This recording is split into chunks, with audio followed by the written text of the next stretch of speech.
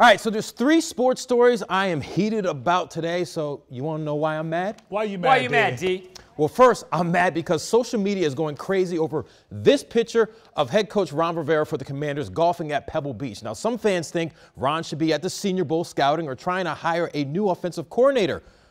Oh no. God forbid the guy enjoys a day off and lives little. Most of us have jobs, but also have lives outside of jobs. So why shouldn't Ron have the same life like us? All right, second thing, you want to know why I'm mad? Why you Why you mad, mad, D? D? The Baltimore Ravens announced that quarterback Tyler Huntley is going to the Pro Bowl. Here's the problem Huntley started only four games this season. They play 17 total in a season and threw only two touchdown passes. That's the fewest by a quarterback selected to the Pro Bowl since the merger 53 years ago.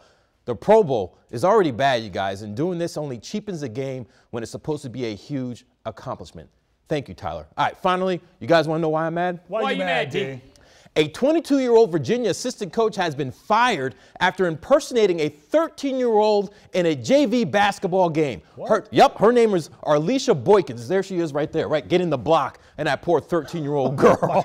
it all happened on January 21st in Portsmouth, Virginia. Now, the girl was impersonating, the girl she was impersonating had no clue. Now she wants an apology and wants to transfer schools. And on top of all of that, the dumb decision got the head coach fired and they cancel the rest of the season.